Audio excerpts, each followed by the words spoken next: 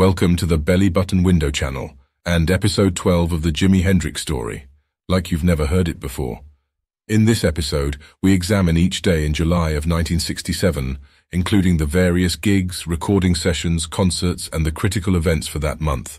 Please remember to check the channel's community tab and video information page, where you will find links to the related videos, performances, and stunning photographs from the period. Episode 12, July 1967, Saturday 1st of July, Earl Warren Showgrounds, Santa Barbara, California. The Jimi Hendrix Experience starts July of 1967 performing at the Earl Warren Showgrounds with support acts Moby Grape and Tim Buckley, and according to Noel, the band was paid $1,400 for the gig.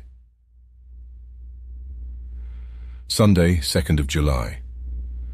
According to Hendrix biographer David Henderson, Earlier in the day, Jimi had borrowed Peter Tork's Pontiac GTO, with Stephen Stills driving, and with Mike Bloomfield, Billy Knowles and David Crosby of the Byrds, along with Jimi, as passengers in the car, was involved in an accident at a gasoline filling station in Malibu, causing the car to spin three times and resulting in an ankle injury to Jimi. Later that evening saw the group performing at the Whisky A Go Go Los Angeles, California, according to Noel. Our debut in Los Angeles at the Whisky was a flop, we were too tired and too stoned. We could hardly stand up, much less play, and it didn't help to know we had a 10 a.m. flight to New York the next day. The gig was so bad that I broke my own rule and got pissed off on stage when Jimi pulled a moody. Monday, 3rd of July. The experience flew into New York to be greeted by the same old nonsense. Their hotel refused them admission, so they checked into Loew's Motor Inn on 8th Avenue.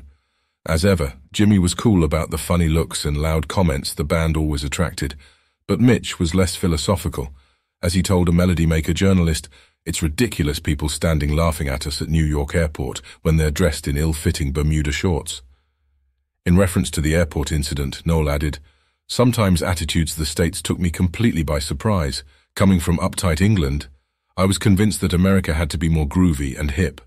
At the airport in New York, I was shocked when a terminally obese, balding man dressed in gaping, gaudily patterned shirt Plaid Bermudas and flapping sandals stood pointing and laughing at me. What is this? Where's the mirror? The burning of the midnight lamp. Earlier, while on a plane between LA and New York, Jimi writes the lyrics for The Burning of the Midnight Lamp. By all accounts, he was exhausted and in low spirits as they boarded the aircraft for the 2,000-mile journey across America. At that point, the song had no lyrics. Jimi went on to say, I wrote part of the song on a plane between LA and New York, there are some very personal things in there, but I think everyone can understand the feeling when you're traveling, that no matter what your address, there is no place you can call home. The feeling of a man in a little old house in the middle of a desert where he's burning the midnight lamp. You don't mean for things to be personal all the time, but it is. The new and unknown version of the burning of the midnight lamp.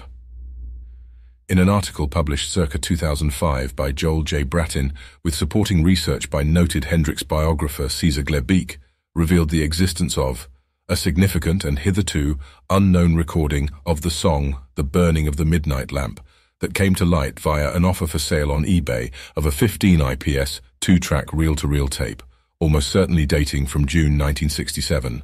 The contents were described as follows. The entire tape is in mono or extremely narrow stereo, is in excellent quality, ran for 10 minutes and 53 seconds in total length. Although the center of interest, a complete version of the song, featuring harpsichord, electric guitar with wah-wah, spirited vocals, fine drumming and excellent bass, superior to the released version, runs just 3 minutes and 46 seconds. This recording also featured lyrics, slightly less worked. The vendor, a fellow by the name of Terry Corbett, having been involved in the music industry in the mid to late 1960s, claimed to have been personally given the tape by Jimi Hendrix late one night at Paramount Recording Studios in Los Angeles. The tape was eventually sold at a London auction house in June of 2004 for 20,000 British pounds. Later that evening, Monday the 3rd of July, the group plays the first of two nights at Steve Paul's Scene Club, 301 West 46 TH Street, New York City, performing for 45 minutes. The Scene Club. For some reason, New York did not have an equivalent of the ballroom venues of San Francisco or Los Angeles. Later on, there would be the Electric Circus and the Fillmore East, admittedly another theatre. But in mid-1967, the scene was still centered around the old folk clubs and cafes on Bleecker and MacDougal Streets in Greenwich Village. However, several of those like the Café Au Go Go, the Café Wah, and the Night Owl had been featuring electric blues and folk rock bands. As with London, there was another type of club, the upmarket discotheque. Mostly they were uptown, places like Ondine's and Cheetah, where Hendrix had occasionally played with Curtis Knight, and later the Salvation on Sheridan Square in the village. But what was to become their home away from home in the first place they played in New York was Steve Paul's Scene Club on 46th Street, between 8th and 9th Avenues, near Times Square. Many of these places may have been sweaty dives, but like Blaze or the Bag of Nails in London, they attracted a well-heeled hip elite audience. Variety magazine in the 12th of July of 1967 edition provided the following review of the Experience's Scene Club performance. The trio pounds incessantly in tune with a contemporary format, and Hendrix attains far-reaching electronic tangents on his guitar. Supporting him are Noel Redding on bass and Mitch Mitchell on drums, a duo of Britishers who are well schooled in achieving spike driving sounds and appealing appearance. Enhancing the physical presentation is Hendrix's colorful, bejeweled attire, which combines the aura of Jerry Lee Lewis with that of Liberace. However, for all the external personality, the root of the combo's appeal is its actual simplicity. As dynamite as they play and appear, they do so for entertainment. This is in contrast to much of today's music, wherein the artist seeks attention to the sociological, psychological and or musical composition of his material. Hippies will enjoy this opportunity to relax with performers they can accept, and teeny boppers should respond accordingly, thus transcending today's age-split market. The article includes the following critique. With these pluses, Hendrix should eliminate some extraneous output. His sexual gestures are vulgar and will embarrass youngsters besides being unnecessary. Tuesday, 4th of July. The group performs the second gig at the Scene Club with a 40-minute set and support acts, The Seeds and a Tiny Tim.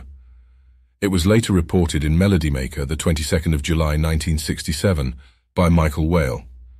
Hendrix broke several of his guitar strings while playing the instrument with his teeth, which caused road manager Gerry Stickells to run on stage like a football trainer with a new string every time there was a breakage. At a reckoning, they got through seven that night. Mitch has had this to say about the Scene Club. The first thing we did in New York was the Scene Club. How we got that, I don't know. Maybe Chas knew Steve Paul, who ran it. It was a real sweaty armpit seller, but an incredible audience. Probably only held a couple of hundred people at most, legally. An amazing number of musicians would turn up there from Buddy Guy to Keith Jarrett to Chuck Berry. A crazy mixture often on the same bill and often playing together. It became the place to go. I remember Albert King playing there one night. He had his ridiculously long guitar lead, 50 yards or even longer. He ended up playing out in the street among the traffic. Absolutely absurd. Over the next year or so, it was amazing for us. Whenever we were in New York, we lived between the hotel, the record plant, and the scene club. The scene was a watering hole for musicians, particularly English bands. It was the first place we really encountered groupies on a mass scale. One thing that impressed me with Jimi, no matter where we were in the world, after we'd finished playing, we'd go out and check out whatever music was going on in town. Meanwhile, back in England, a notice in the London Evening Standard dated the 4th of July headlined Jimi Hendrix sued for agreement breach, stating that PPX Incorporated of Broadway, New York, had issued writs in the High Court in London against Polydor and Track Records to stop them recording Jimi Hendrix until his PPX contract expired in October 1968. Wednesday, 5th of July. The Rheingold Festival, Central Park, New York City. Photos by Linda Eastman, née McCartney. During the day, publicist Michael Goldstein had arranged a number of interviews and also a photo session to take advantage of the group's much talked about Monterey performance. Roslyn Morris, a reputed love interest of Hendrix, is featured in various pictures with Jimi, and the experience, reportedly taken by Paul Popper, in a room of the Loew's Midtown Motor Inn, 798 Avenue, NYC. The experience played the Rheingold Festival in Central Park, having been added at the last minute as support to the Young Rascals, who were playing to their home crowd in front of 18,000 people. Stopping just shy of burning his guitar, Hendrix once again packed his dynamic stage show into the experience's 35-minute set. According to Michael Whale of Melody Maker, the experience won the night with the Young Rascals even booed during one number.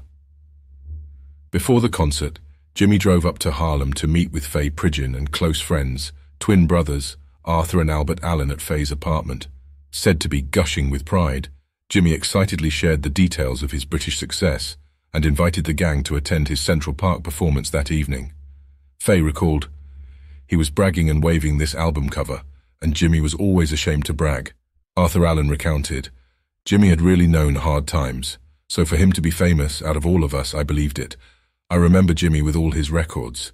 He would even get into white music, and when you found a black entertainer who would study white music, you knew the guy was serious. Like the great majority of black musicians, we couldn't have been bothered with the Beatles, let alone Bob Dylan. The Rheingold concert was also famous for another reason. During the first half of 1968, Australian artist Martin Sharp, whilst living at the Pheasantry, Kings Road, London, produced a stunning painting in acrylic of Jimi Hendrix, based on a tracing off of a live concert poster image by Linda Eastman, taken of Hendrix performing at the Rheingold Central Park Music Festival.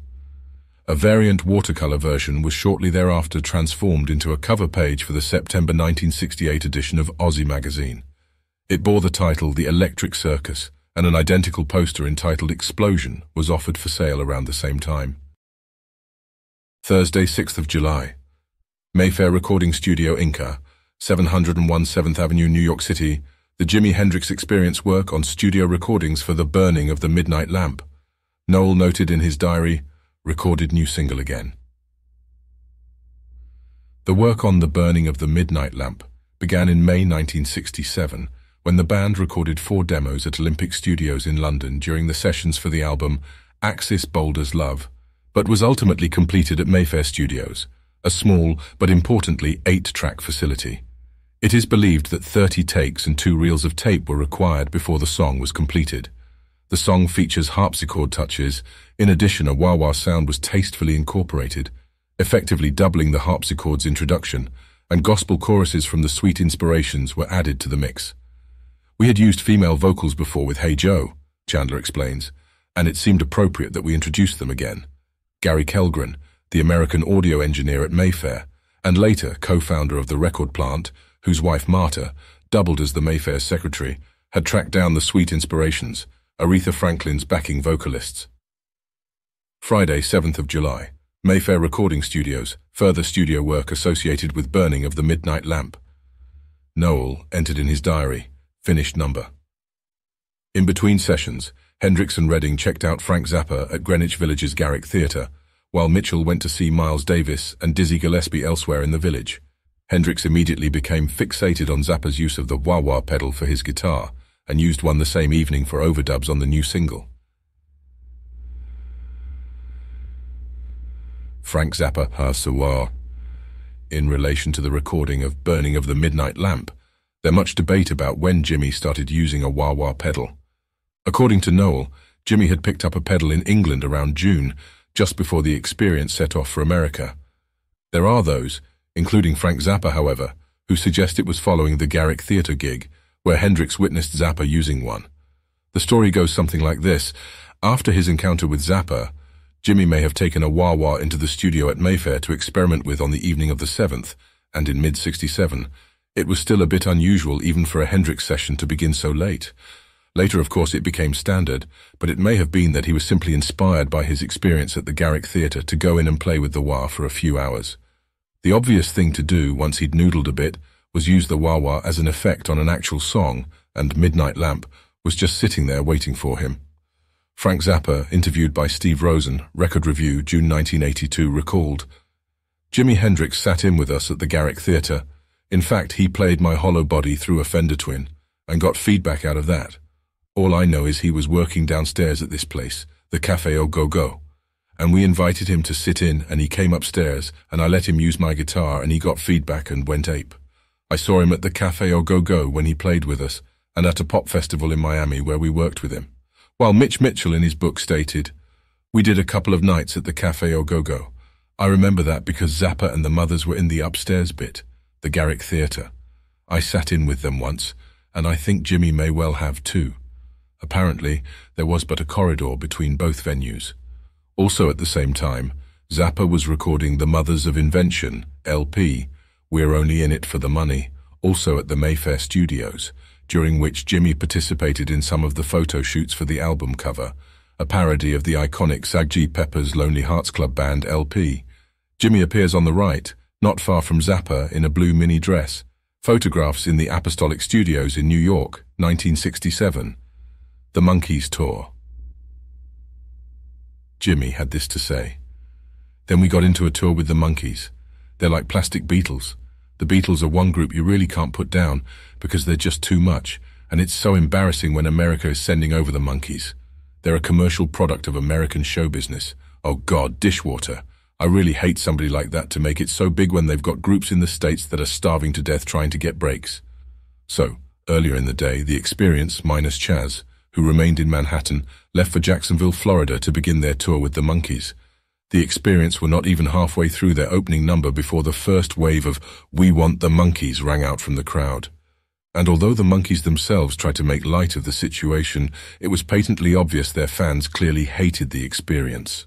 The Monkees, in 1966, included Davy Jones, Peter Tork, Micky Dolenz, and Mike Nesmith. The made-for-TV pop group spawned a frenzy of merchandising, record sales and world tours that became known as Monkee Mania. Known as a made-for-TV pop group, who did covers of other people's songs and were suspected of not being able to play their instruments, they were nonetheless enormously popular with the teeny boppers. The Monkees were unhappy with that description, so engaged in a battle with their handlers to be allowed to write and perform their own songs, and at some point they sort of won and produced a number of original hits, though they still suffered the sting of being disrespected as instrumental players. So in late June 1967, starting at the Empire Pool at Wembley in London, and ending 59 days later at the Coliseum in Spokane, Washington, they undertook a summer tour which included 34 performances at 28 venues in 59 days, and with the Jimi Hendrix Experience supporting the Monkees for seven shows between July 8th and July 16th. So how did the ill-fated tour come about? There are various stories as to the tour's origins. Let's run through them. Early in 1967, while attending a party in London with Paul McCartney, John Lennon and Eric Clapton, Monkee, Peter Nesmith, heard a tape that Lennon had of Hendrix playing. At that time, Hendrix was already a star in England, but was still little known in the US. Nesmith and the other Monkees thought they had found the ideal symbiotic relationship. Hendrix needed exposure in the US, they needed a connection with the real thing to give them credence as musicians, their tour in December, January 1966 to 67 had produced a huge number one selling song, I'm a Believer. So it was arranged that Hendrix would open for the Monkees during the US phase of their tour. Then others say that the Monkees met with Hendrix in London during their tour of England in early 1967. They became immediate fans, and then after seeing him play at the Monterey Pop Music Festival in June of 1967, Micky Dolenz and Mike Nesmith talked Jimi into opening for them during their US leg of the tour that began in Jacksonville on July 8th. Another version says that it was Peter Tork who appears to have set the ball rolling, wanting to have some real musicians on the tour, of the kind he was used to hanging out with in Laurel Canyon. Micky Dolenz was also a fan of Jimi's, having seen him in London, and he too was keen on the idea. The motivation for having Jimi on the tour was an attempt to break out of the sub-teen market appeal to older teenagers and gain the acceptance of the rock establishment, while the Monkees producer, Tommy Boyce, lent himself to the following version. It was a personal trip. They wanted to watch Jimi Hendrix every night. They didn't care if he didn't fit. The tour promoter, Dick Clark, reluctantly agreed, and the wheels were set in motion for the inconceivable to happen. By then, the Monkees were such huge Hendrix fans that they showed up early to watch every Hendrix performance while on the tour. According to Chas Chandler, however, this is how it came about. In late June, around the 25th, Hendrix and I were sitting in my room. Mike Jeffery got me on the phone and he said he had some great news. I have just signed them. The experience that is. On the hottest tour in America as a support act, he said. I said, that's great. Who is it? The Monkees. He replied. I dropped the phone. I couldn't believe it. I had this flaming row with him on the telephone. I went berserk. The tour was opening in Florida. I said, you can go on those effing dates because I ain't going. I'm totally disassociating myself from it. It's your F up. You take care of it. To Chandler, after Hendrix's triumphs at Monterey and then Fillmore West, it would have been wiser to package the experience, perhaps with Eric Burdon and the Animals, and send the tour out to clubs and small halls. For his part, Mike Jeffery thought he'd brought off a coup. Whatever one thought of the Monkees, in America only the Beatles were more popular, and, to his way of thinking, it would be worth sacrificing musical integrity for the media exposure. But then again, to the older generation, Jimi had teeny bopper status, irrespective of the music played. As Stan Cornyn, a Warner Brother executive, said, In those days at Reprise, anything beyond Dean Martin fell into one category, and the Monkees and Jimi Hendrix were beyond Dean Martin. Details of the tour.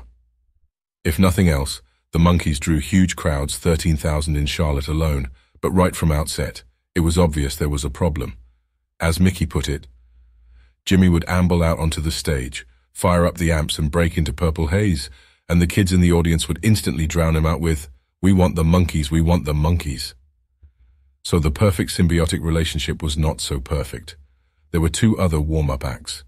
As the most important act, the Jimi Hendrix Experience had been placed third, just before the Monkees. But the experience had come to see that position as the position of death, because by then, the Monkees' teeny bopper fans were out of patience and just wanted to see their idols. So in Greensboro, an experiment was tried.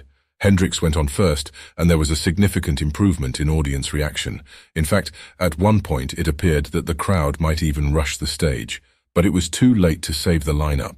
After just seven performances, the last three at Forest Hills, the Monkees and the Jimi Hendrix experience came to a reluctant but amicable parting of the ways. This is how the New Musical Express of the 29th of July 1967 reported the story, Jimi called Too Erotic by American Mothers. Jimi Hendrix withdrew from Monkees' tour of the United States. The official reason was due to a protest by the Daughters of the American Revolution, who are a group of American Mothers guild-type ladies. The girls complained that Jimi's performance was too erotic for young children. They say the average age of Monkees' audience is between 7 and 12 years. The fallout from the ill-fated tour. Mitch had this to say. Basically, the Monkees were trying to outdo the Beatles.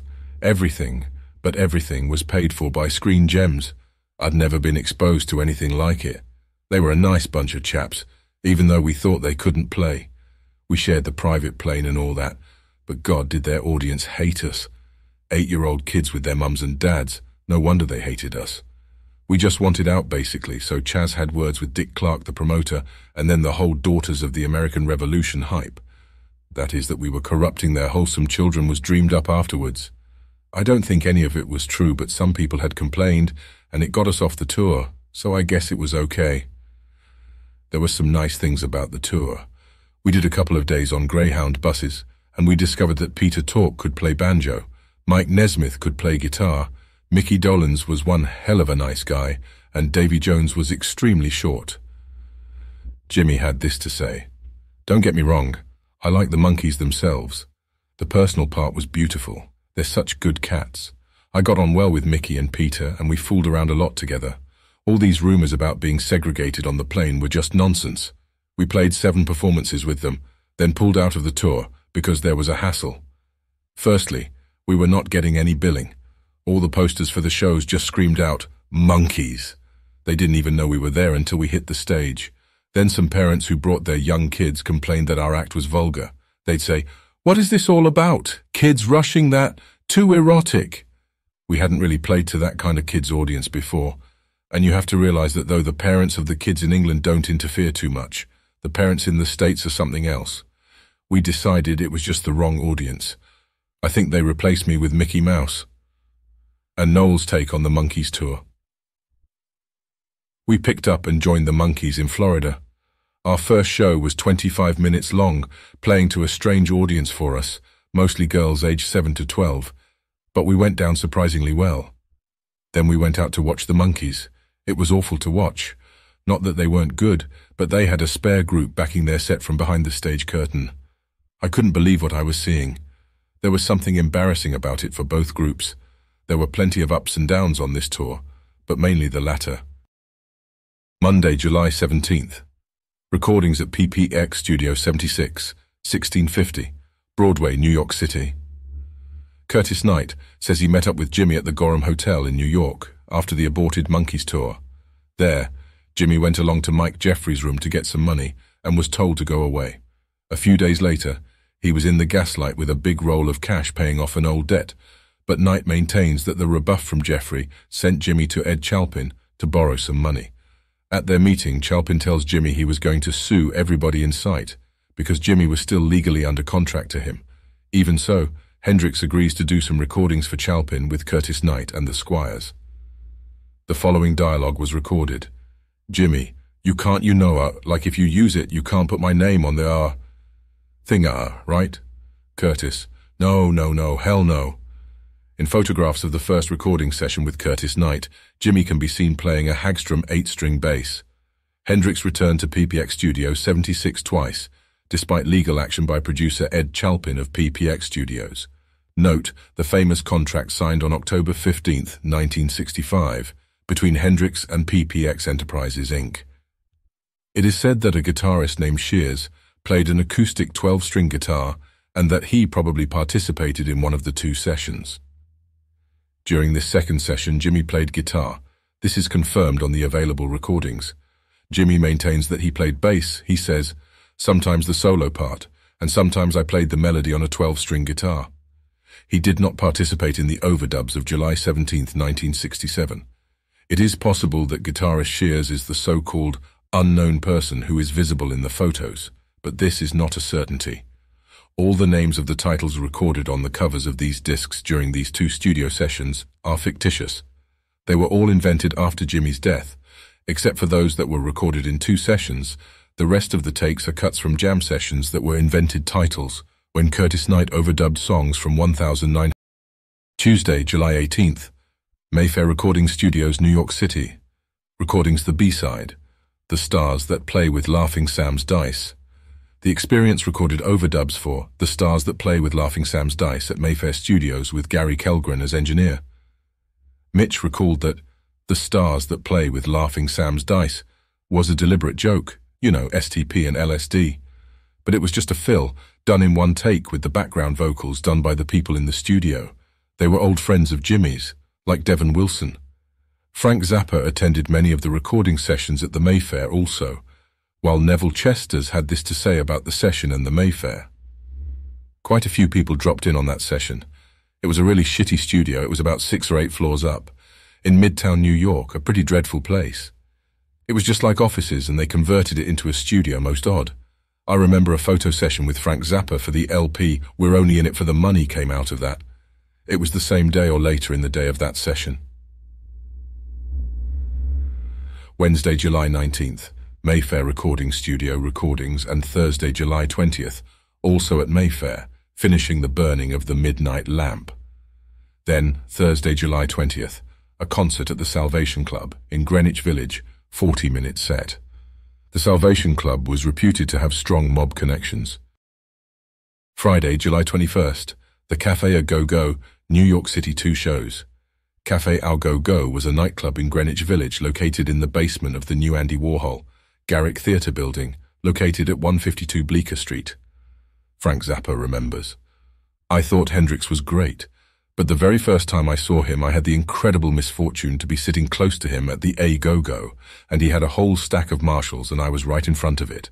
I was physically ill. It was so packed I couldn't escape, and although it was great, I didn't see how anyone could inflict that kind of volume on himself, let alone other people. In that particular show, he ended by taking the guitar and impaling it in the low ceiling of the club, just walked away and left it squealing. Photos by Henry Grossman. Saturday, July 22nd. The Warwick Hotel for the 4 p.m. wedding of Chas Chandler and Lotta Lexon. Noel Mitch, Gerry Stickells, Neville Chesters and the Monkees all attend. Jimi did not. Also that day, it is officially revealed to the press that the Jimi Hendrix Experience had left the Monkees tour by mutual agreement. Later, Cafe Au Go-Go, two shows 30 minutes each. Sunday, July 23rd, the Jimi Hendrix Experience moves from the posh Warwick Hotel to the crappy Hotel Gorham. Noel records, a wonderful place with no air conditioning where I share a room with Mitch and Neville. Later, Cafe Au Go-Go, New York City, two shows. Keith Kaufman, was in the audience that night and recounted. I saw Hendrix at the Cafe Au Go Go in New York City around July 23rd. I got a seat in the front row and wound up sitting next to Eric Clapton, who came to hear the experience, as he was a huge fan. Eric was with a tall, pretty girl, Charlotte, with long hair, probably his girlfriend at the time. I muttered a few words to him, are you going to jam tonight? Or something equally sophomoric, but did not think that much of the incident at the time. Hendrix's set, which was about an hour and was incredible. Hendrix appeared to be drunk, but he didn't seem to take anything away from the emotionality of his playing. He played mostly straight blues numbers such as Red House. Hendrix used a Fender Strat with single Marshall stack. Tuesday, July 25th, Noel Redding participates in a photo shoot for the Swedish guitar firm, Hagstrom. Wednesday, July 26th, the experience is photographed and interviewed in an antique store in New York. Photo, Jerry Schatzberg. The later is photographed at the House of Oldies record store, 267 Bleecker Street in the Greenwich Village. Photo, Ira Rosen. Later that evening, Jimi participates in a jam session with John Hammond Jr. at the Gaslight Cafe in Greenwich Village. July 28, 1967, Gaslight Cafe, Greenwich Village. Jimi takes part in a jam session with John Hammond Jr. and his Screaming Nighthawks and Eric Clapton. John Hammond described that evening. I had set up a small trio and we played together in the same club, The Gaslight. There was Charles Otis on drums, Lee Collins on bass. I had met Eric Clapton in 1965 on tour in England when he was playing with John Mayall. Eric was in town with Cream, and Jimi had just finished touring with the Monkees. They came to the Gaslight at the same time, and we played together every night for a week. It was a small club that could only hold 60 people at a time. So, a lot of people who were on the bill over the years came up to me to tell me that they had seen me with Eric and Jimi. Yes, we were there. When I tell this story, some people don't believe me and yet it's the truth. Saturday, July 29th, Mayfair Recording Studio. Finished the B-side single The Stars That Play With Laughing Sam's Dice. Noel records in his diary, wrote Little Miss Strange at the session. Monday, July 31st, PX Studio 76. Recordings, No Business, Future Trip. Day Tripper, Get That Feeling, UFO Oddball, Flashing with Curtis Knight, aka Curtis McNear. This entire recording session features the fact that Jimi plays on a Hagstrom 8 string and has a bass fuzz box. An unknown musician plays a 12-string electric mandolin. The material recorded over these two days has been released on countless albums over the past decades. Teen Scoop magazine published in its January 1968 issue a photo of the experience with the members posing on a wooden staircase. This photo appears to have been taken outside, and judging by what the guys are wearing, it looks like this photo was taken around the end of July 1967. Jimi is wearing an orange striped shirt, similar to the one he wore in Monterey. Of particular note is Mitch, who is wearing a jacket with a badge, the same one he wore to Chas Chandler and Lottie Lexon's wedding on July 22nd, so this photo must have been taken around that date. Also, Jimi's pearl necklace with an amulet suggests this period. That concludes episode 12 in this series. Stay tuned for the next installment. Please remember to check the channel's community tab and video information page, where you will find links to any related videos, performances, and stunning photographs from the period and any updates. Also, don't forget to subscribe for future content updates. By the way, if you have any stories or anecdotes to contribute, we would love to hear from you. Lastly, thank you so much for your wonderful comments and continuing support.